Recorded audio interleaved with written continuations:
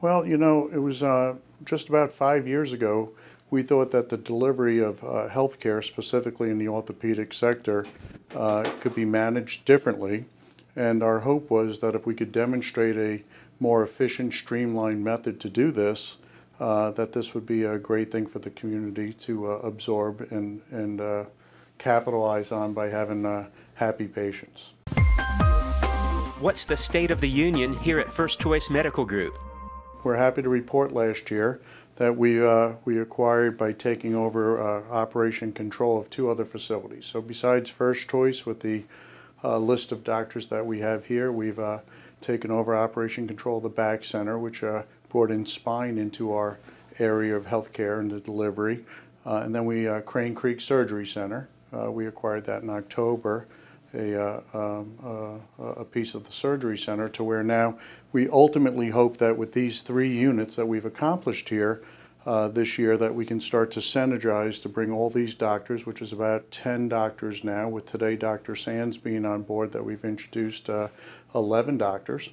And uh, we can start having a, a great uh, dialogue with these doctors peer-to-peer, -peer, with each one being in their own separate area of expertise. And once again, having a delivery system that the patient can capitalize by having all their services performed under one control, you might say, whether it be from the first diagnosis of a problem, whether it be physical therapy, whether it be their diagnostics and MRI, X-ray, uh, their DME, uh, to actually having the surgery performed, um, to actually getting them back to health afterwards as quick as we can and, and back to service, the tennis court or the golf course.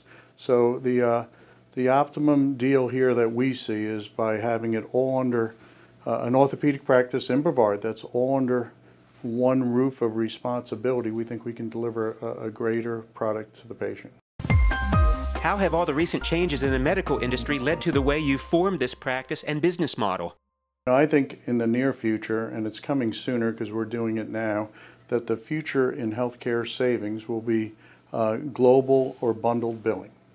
And this will be a responsibility we believe the payers are going to come in and say, uh, we want to pay this amount for a hip replacement with all the extras, with your MRIs, with your therapy. And, and we think it's going to go to what we call bundled billing. It's occurring in about uh, 15 other states. We know of 30 facilities that are doing this.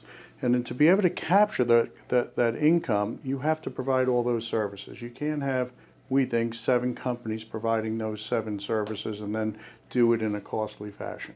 So we think we're aligning ourselves for what the future will bear. And in Melbourne, uh, this is a great opportunity, we feel, uh, to be our, our, our, first unit of service of excellence. And we're looking forward now uh, to start looking into other cities and uh, other states to supply this model. What is your vision for the next five years for First Choice and for people in the community seeking quality health care? In the Brevard model, again, here where we started, um, we're at uh, 11 uh, doctors now. Maybe it'll grow by a few more. We, uh, at the back center, we're looking to expand with maybe one, definitely one, but maybe two more spine surgeons for the demand, an interventional pain.